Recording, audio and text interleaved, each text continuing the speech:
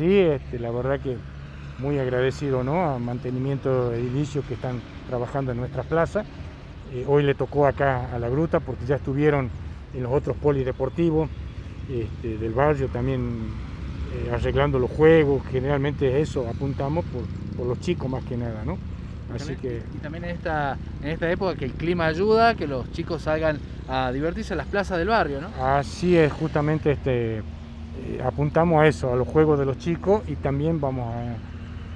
Próximo pedido va a ser la, iluminación de todas las plazas, ¿no? De todos los polideportivos, porque realmente... Eh, se quedan hasta más tarde los chicos hoy por hoy en, las placitas también, así que por los días lindos que, tenemos, ¿no?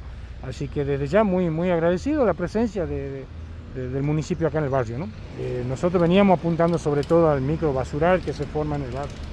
Tratemos en lo posible de, sacar a horario la basura, ¿no? Este, y cuidar nuestra plaza, sobre todo los árboles, que nos costó muchísimo hacerlo prender, gracias a dos vecinos acá ya viejitos, pero eh, ellos son los que nos cuidaban los arbolitos, ¿no? Así que, bueno, muy agradecido por todo.